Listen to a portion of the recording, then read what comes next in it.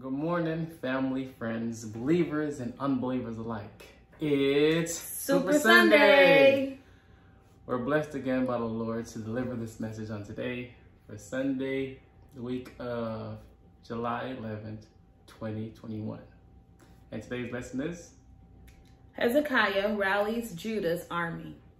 And it's coming from lesson text, Second Chronicles, verses one, th- chapter 32, verses 1 through 8, and verses 22 and 23. Amen. Wife, would you like to lead us in prayer? Yes. Dear Heavenly Father, thank you for this this beautiful Sunday that you've given us. I pray, Lord, that you will watch over us and keep us. Open our eyes, our hearts, and our minds to receive and comprehend the word that is coming forth today. Pray that you will open hearts, change hearts, change minds. I pray, Lord, whoever this message is for, that it will reach them wherever they are. In your mighty Son's name, I pray, Holy Spirit, sit among us and with us and dwell with us. Speak through us, Holy Spirit, as we speak your word. Amen. Amen. This week, I have the first portion of the lesson. Just going to dive on in.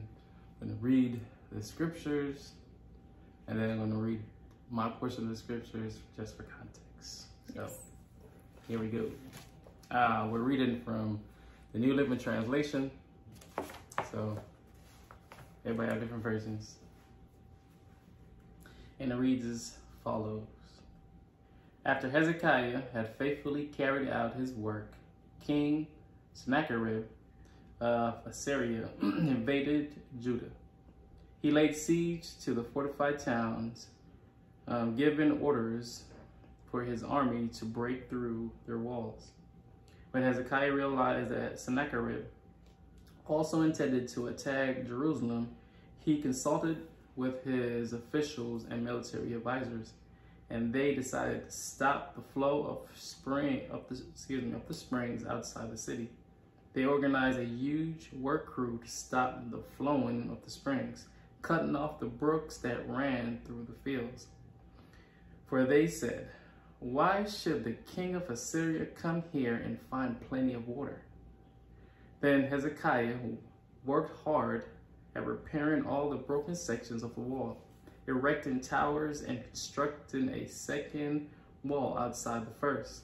He also enforced, uh, excuse me, the supporting terrace in the city of David and manufactured large numbers of weapons and shields. He appointed military officers over the people and assembled them before him in the square at the city gate. Then Hezekiah encouraged them to encourage them by saying, be strong and courageous. Do not be afraid or discouraged because of the king of Assyria or his or his mighty army, for there is excuse me, for there is a power far greater on our side. He may have a great army, but they are merely men. We have the Lord our God to help us to fight our battles for us. Hezekiah's words greatly encouraged the people. Verse 1 through 8, uh, 22, 23. That is how the Lord rescued Hezekiah and the people of Jerusalem from King Sennacherib of Assyria and from all the others who threatened them. So they were, excuse me, so there was peace throughout the land. From then on, King Hezekiah became highly respected among all the surrounding nations and many gifts for the Lord arrived at Jerusalem with the variable with variable gonna be valuable valuable presents for King Hezekiah too. All right.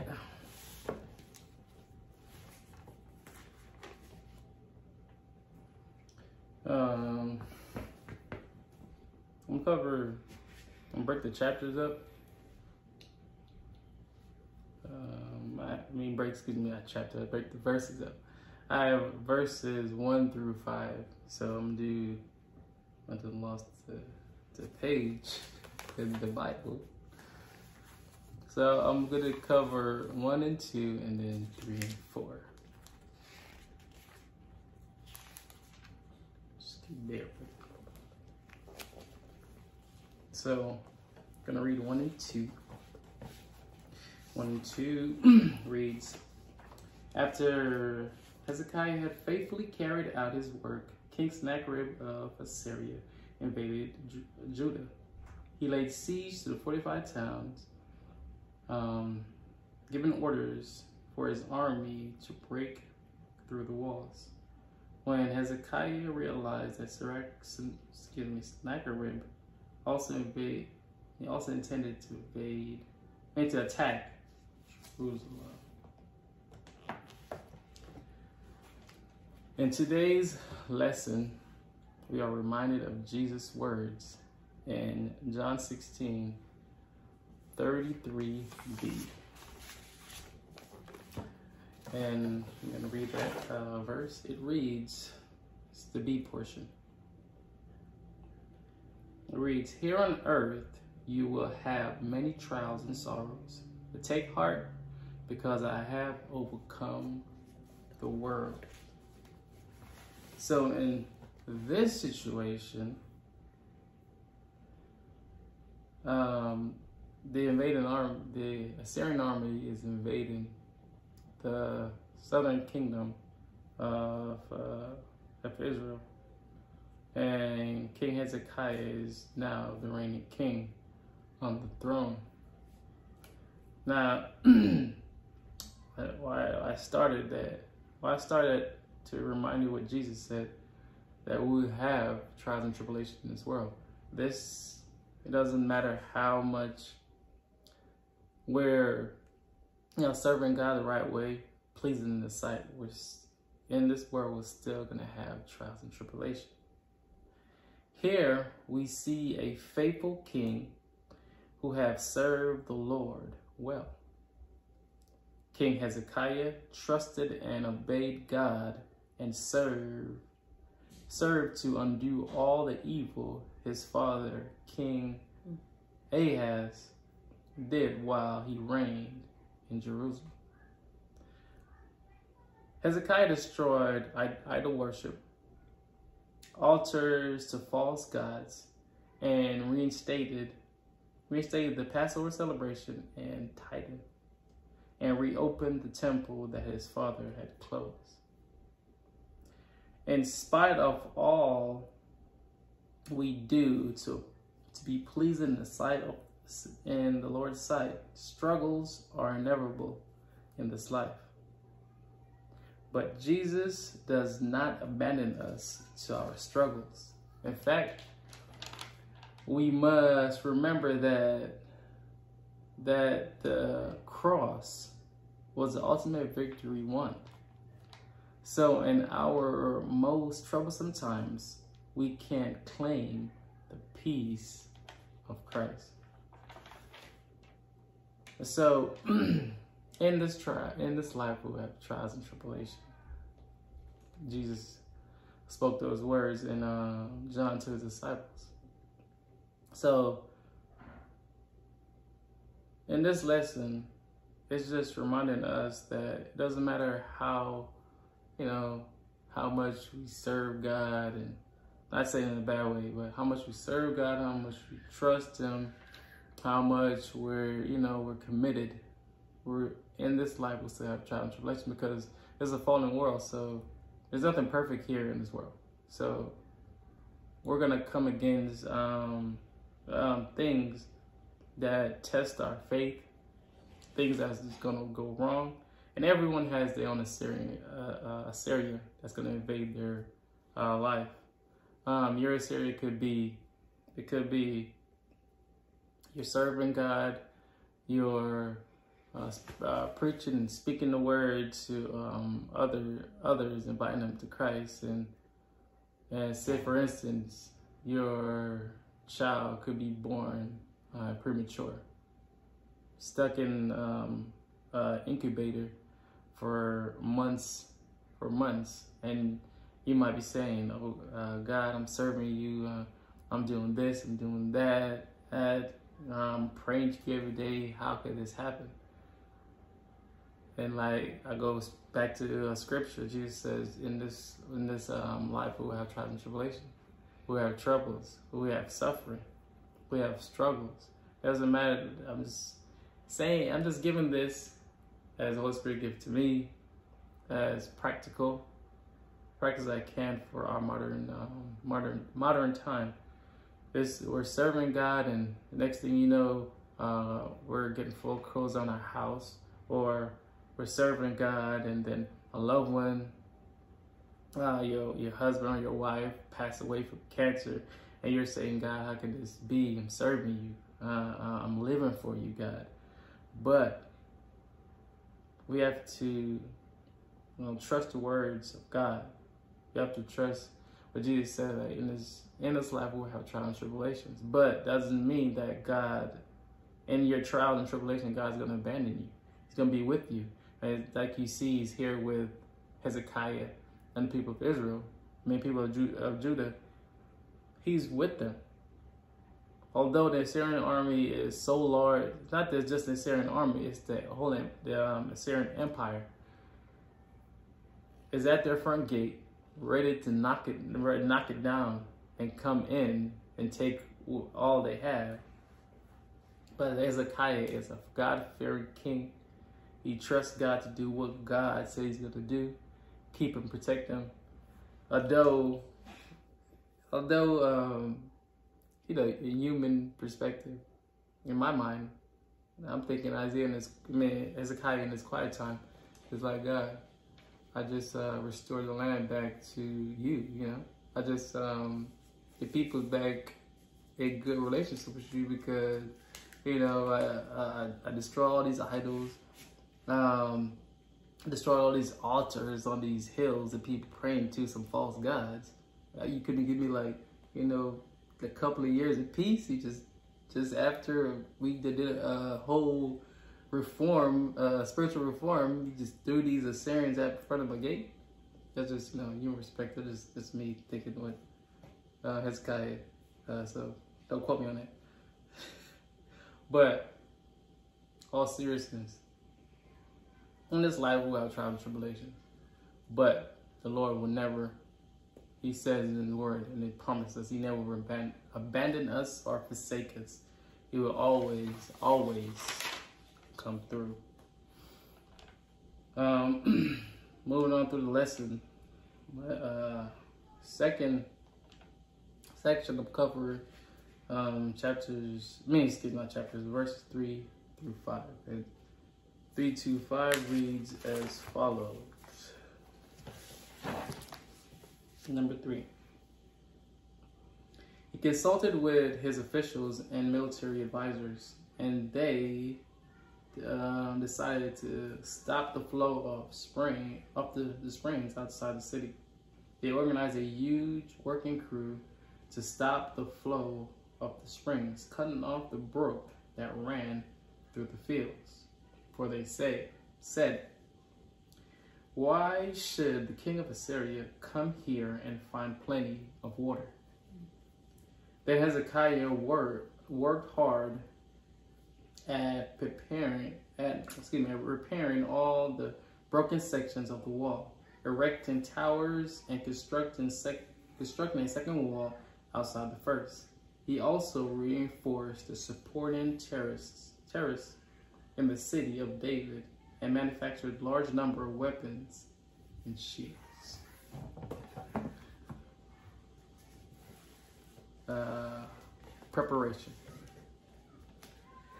That is a king, that is a godly leader that prepared. So I'm going to start this uh, portion with a definition preparation. The action or process of making ready or being made ready for use or consideration. A second definition, something done to get ready for an event or undertaking.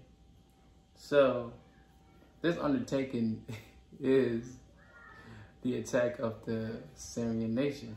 The Assyrian nation. It shows you how when you truly follow God, when you're a true leader, a truly godly leader, how God gives you what you need to do. God gave Hezekiah the, the idea. God God gives every God is the creator of the universe. He gave um Hezekiah the idea of, you know what, just cut off the water from outside. So when they get there, they have no water for their men. So they were sitting in the desert thirsty. So you know when you get thirsty, exactly. Like it's been said that water is uh, water gives life. So if you cut off the water, you cut off the life of whoever is attacking you, right? So there is a right, there's a right way and a wrong way to do any task. King Hezekiah chose the right way. As a good and godly leader, Hezekiah knew he had to make provisions for the people and strengthen the wall of the city to withstand any attack. He prepared a plan, but most important, trusted God to see it through. That's a godly leader. That's someone that trusts God enough to know, trust God enough to believe that God's gonna do what He's gonna do. All Hezekiah had to do here is do his part. He went to God. He encouraged his people. He encouraged his people not to be afraid that God got this. He dug a tunnel, okay? He dug a tunnel from the spring to Jerusalem underground. That's a smart man. Actually, that's a godly man. That's a godly leader. so his people had provisions, okay? They had they had water flow flowing inside the city, but he cut off all the water that flew outside the city to the fields. So there's no drinking water for the Assyrians that surrounded surrounded them. But his people had provisions because he trusted God. Like I said, he trusted God to do what God said God was going to do. God put God put him in this position for such for such a time. God always God puts us in places that we need to be in. Hezekiah needed to be king right at this at this point in time because God knew he had the Assyrian, the, Assyria, the Assyria, Assyrians coming to attack. So he, God put him, put Hezekiah in place to provide and protect his people.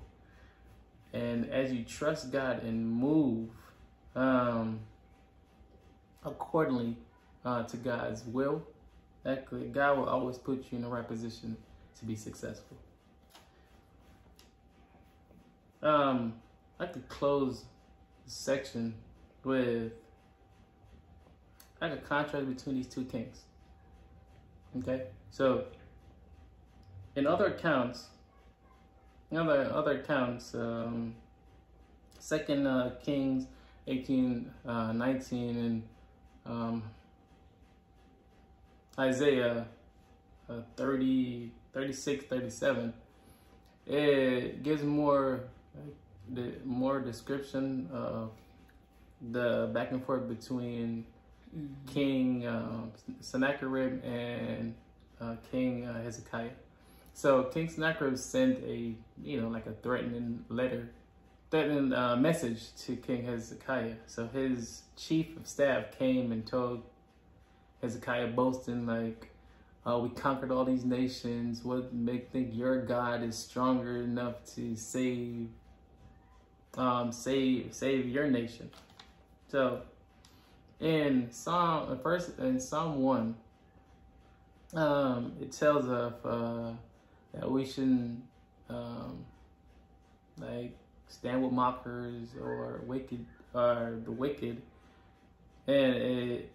I'm just paraphrasing there quickly, and it tells of um, um, those who those who trust in the Lord are like and who believe in God are like trees on the banks and the river banks, right? So they're they're so close to the water and the water is giving the tree life, the trees, you're going to bear fruit, your leaves to stay green. And the, the two contrasts between these two kings, Sennacherib trusted in his own power, his own military might. But Hezekiah, on, on, on in contrast, Hezekiah trusted in God. So King Sennacherib is like, he's like a tree that's not by the water. He's a tree that's like, say, planted in the desert. There's no source of nourishment for that tree. Can't pull for anything. It's just dry and desolate. Dry and desolate. He's trying to, the tree's trying to survive on its own strength. But King is like King Hezekiah is like a tree that tree that's planted by the banks of the river. He's pulling nourishment, getting water, it's staying staying refreshed. It's growing that fruit fruit, it, and it's growing um, that that fruit. So in contrast, if you trust in God, see, Kingston uh, had no where to pull his strength from. He just didn't trust in him. But King Hezekiah knew where his strength lied. His Strength lied in God. So that's his sources of power.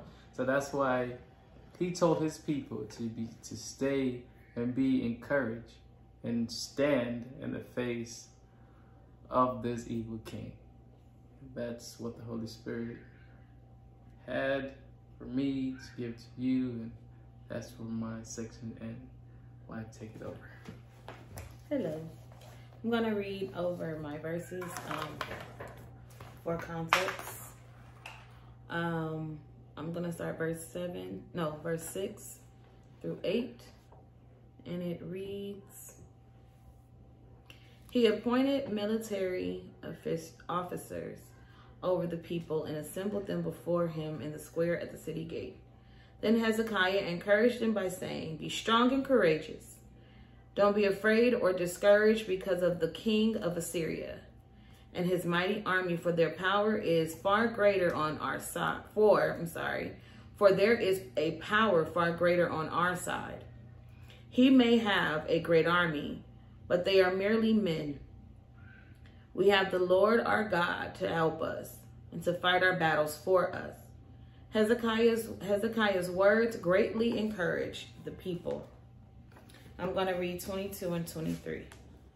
This is how the Lord rescued Hezekiah and the people of Jerusalem from King Sennacherib in Assyria and from all the others who threatened them. So there was a peace throughout the land. From then on, King Hezekiah became highly respected among all surrounding nations, and many gifts for the Lord arrived at Jerusalem, with valuable presents for King Hezekiah too.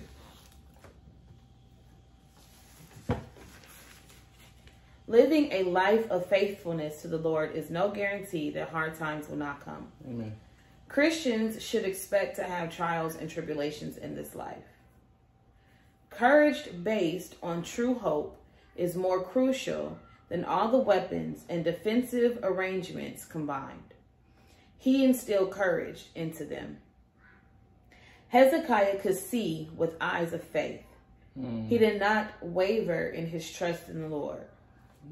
So I'm going to define faith. And I'm going to give two definitions. One is the, the um, dictionary and one is biblical. Faith, by definition, is complete trust or confidence in something or someone, or um, they also had strong belief in God. This is the dictionary um, from online. Now, this is from the Bible. I'm sorry, this is another um, definition from um, online, and then I'll go to the to Hebrews 11 and 1. Um, faith is confidence in what we hope for and the assurance that the Lord is working even though we cannot see it. Okay. Hebrews 11 1 says, Now faith is the assurance of things hoped for and the evidence of things not seen. Hezekiah did two things when the Assyrians came to fight. He strengthened the city defen- the city's defenses and he prayed. Mm. Now I'm going to break faith down in two points. Faith is believing in God's character, who he is, who he says he is. And two, Faith is believing in God's promises. He will do what he says. Mm-hmm. Often in times of distress, the first thing to be abandoned is faith.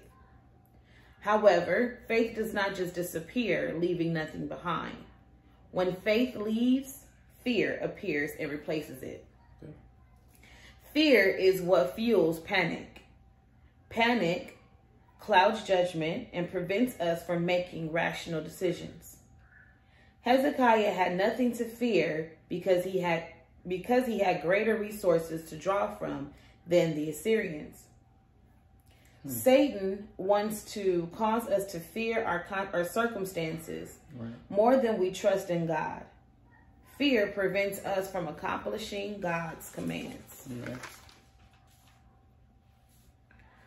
When the king and his city, and I'm speaking of Hezekiah, when King Hezekiah and his city were faced with the greatest threat, he did not rally his people around himself. He rallied them to trust in the hmm. only one who could save them. Amen. From a human's perspective, the battle was a sure victory for the Assyrians. Based on great military, great military strength, numbers, and past victories. But Hezekiah knew his God was mighty and more powerful. Judah had the strong arm of the Lord to defend them. Right.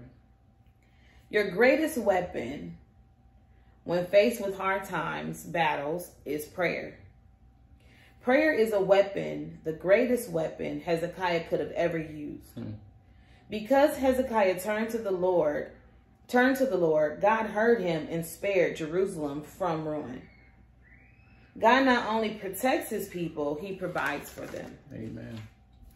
In um, the previous verses, verses four through five, we see Hezekiah preparing for battle. He was preparing for he was preparing for what he was asking God to do. Right. While Hezekiah and his people took wise measures, ultimately all the protection and provision they needed were found in the Lord. He fought the battle for them entirely on his own, requiring no assistance from them whatsoever. Hezekiah made preparations, and his people were ready should God have chosen to fight through them. The defense preparations and gathering of weapons were not really needed. Hmm. But by preparing to fight, it demonstrated that they were not good. That, but I'm sorry, excuse me. But by preparing to fight, it demonstrated that they were not giving up. And this portion spoke a lot to, um, I mean, stood out to me a lot when with prayer that we, I don't know if we, I can't say everyone, but we do kind of take prayer lightly. And prayer is literally the the surest thing that you can use or mostly the only thing really that you can use for God to hear you Amen. because it's prayer is communicating with God. Yeah. Prayer is talking to your father. Right. Um not praying a special thing or saying a special thing, but honestly just pouring your heart out to God and and asking him for help if that's what the prayers um in regards of. Hezekiah um, as I read in the in the Bible, they said he he did everything from his whole heart. Not he held nothing back. So um, as Lorraine spoke about before, how originally they were under the the leadership of his father, and his father had them doing and serving and believing in everything but God. And Hezekiah literally turned everything around once his father died. He had no one to kind he had no one to prevent the changes that he was putting into place. Mm-hmm. And everything he did, he did sure footed. He did um, with his whole heart. Um, but in this instance, in particular, with this battle, he prayed. Him and Isaiah, it speaks to Isaiah. Um, I didn't speak on it, and Lorraine didn't really speak on it much. But when Hezekiah encouraged his people. He gave the best speech a leader could give. And I want to reference it to, to, to, to today's, um, to make it relevant for today. and I don't like to give Satan so much credit, but this is how the enemy works. You can just finish reading the word of God and God can speak to you and and or someone he used as a vessel to speak to you something encouraging and literally within 5 2.5 seconds something can happen to you and the enemy just speaks so much negative into you to where now you're like oh well you start to second guess what you you know is right, right, or what you just heard. And this happened to Hezekiah and his people. He just gave a great speech, and somehow, some way, the king of Assyria found out about it and sent messengers right. to basically tear down every word he just spoke. Right. And it was a psychological it was a psychological attack. So not only do we, I'm sorry, excuse me, my allergies are acting up, guys. But um, not only did he, did the Assyrians try to attack them physically, they started mentally. And in any battle and in any war, the first attack is always mental. Because if you get to the mental, you can win a battle.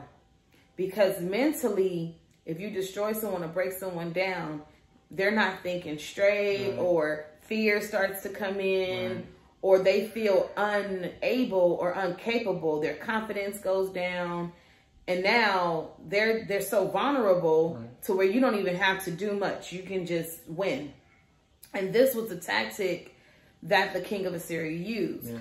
he used psychological um, attacks first however because of hezekiah's faith in God and his trust in God, he still spoke against it. He still made sure that his people knew, no, do not listen to that. This is what I'm saying to you. Trust and believe in what I'm saying. God will bring us out of this. He will. He will um, bring us through. He will win this battle. But they didn't know that God was going to actually do it on his own. Right. They prepared and like when I was reading this, they prepared in every way possible. Right. And nothing that they prepared was used. Right. I don't even think they were awake. Because when you read when you're reading it, it says that because um Sennacherib taunted God, mm-hmm. he taunted um Judah so much, mm-hmm. he kind of put himself in harm's way. Right. Like God ultimately probably would have fought through them and they would have won the battle by God giving them the strength and power to do it. Right. But because it's like he was annoying and because he just kept pushing and kept pushing and kept talking mess, God was okay, you talk about all these other gods that are not gods. I'm going to show you who I am. And he sent the Lord's army and destroyed. Um, as you read further in Second Chronicles, um, and then I believe it's in Kings as well. It's another segment where they talk about the number. And it was 185,000 soldiers that they wiped out. That's a big number. That got wiped out. That God's army destroyed in the night. It wasn't like it was done like where they the the um where Judah could see it happening. It was done. They were sleeping.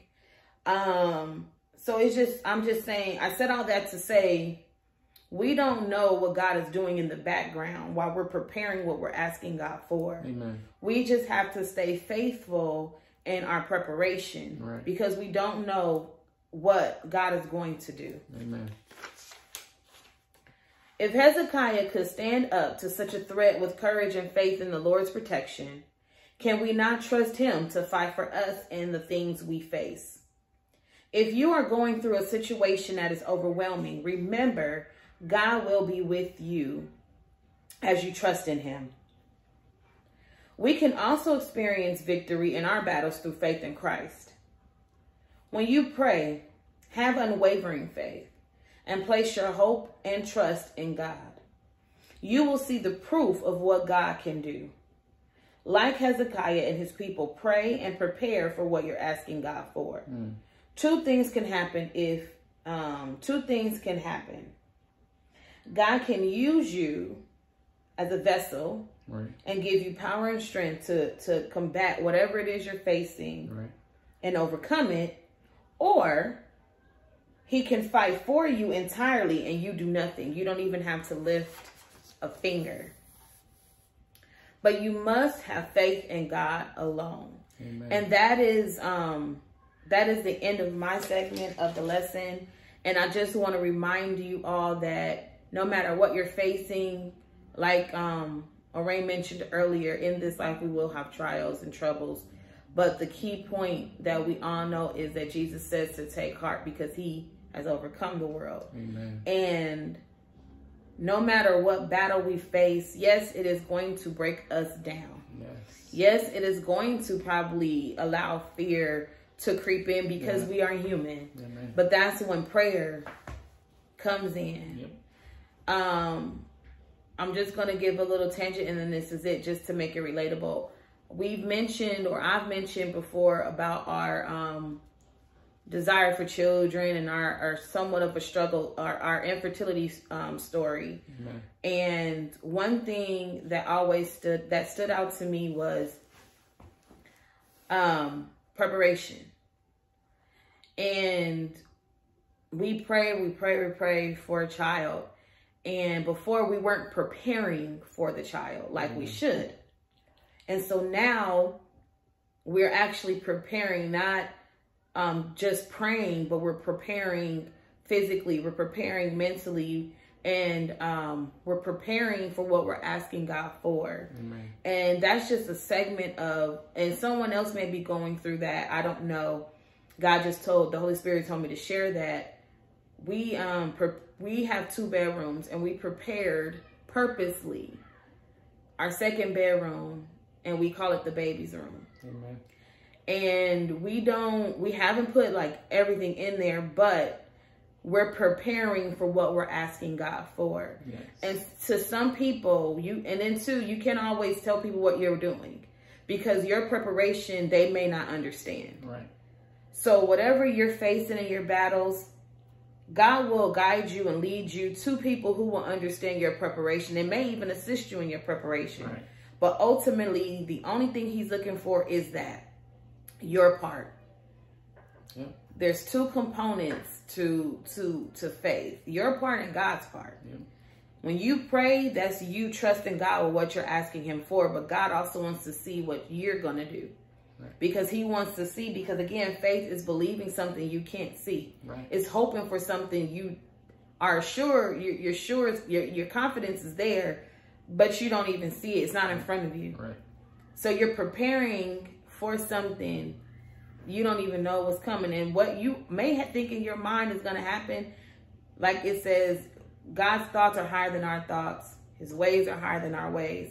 So you can't even imagine what He is probably going to do to where you be baffled, like, God, I didn't even have to do nothing. Right. But then He's like, But you did. You trusted me by showing action. Faith is action. Yep. So I just wanted to leave you guys with that um, remember that faith is action and prayer is a weapon Yep. and worship is a weapon. Amen. So when you're going through trials and tribulations, remember to take heart, remember to pray, wait, and trust in the Lord. Amen. Peace. Peace.